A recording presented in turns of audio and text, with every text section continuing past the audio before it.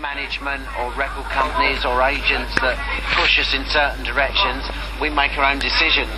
So, um, you know, you know, we're responsible for ourselves an audience to, to, to write for.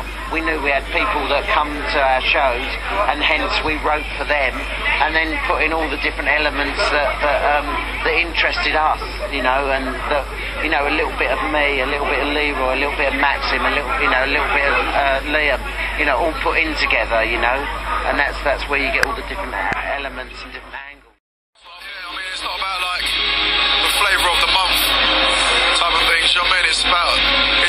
inspiration. Who inspired you?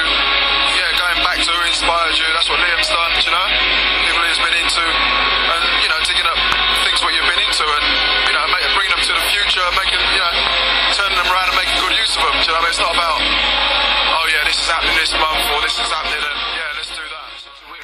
what the band's about. You have to see us play the tracks. We don't play all the tracks off the album. We play, you know, three or four, and um, mix in with our stuff. So it's, it's good. Know, we don't, we don't dwell on like what what we've done yesterday anyway. Do you know I mean?